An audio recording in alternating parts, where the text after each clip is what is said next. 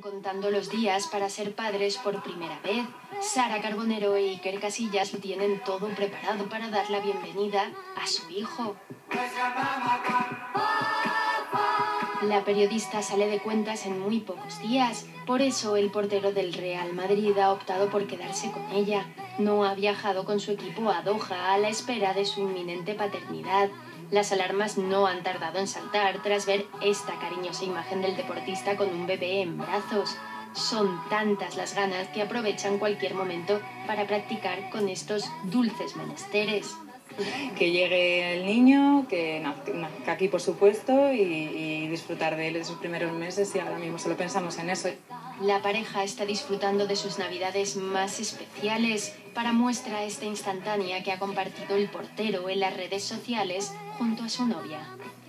Sara ya ha dejado de trabajar, está de baja médica, ha apurado hasta la recta final porque no sentía ninguna molestia. Llegados a este punto, la futura mamá solo piensa en una cosa.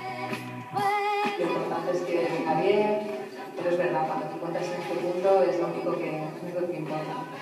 Estas fiestas se han repartido entre las dos familias, es tiempo de alegría y de recuerdos, por eso Iker no ha dudado en compartir retazos de su infancia en forma de fotografía, quizás como preámbulo al nacimiento de su hijo, un niño muy deseado. Me encantaría tener niños, yo creo que a todo el mundo le gustaría. Su deseo está a punto de cumplirse, serán padres primerizos.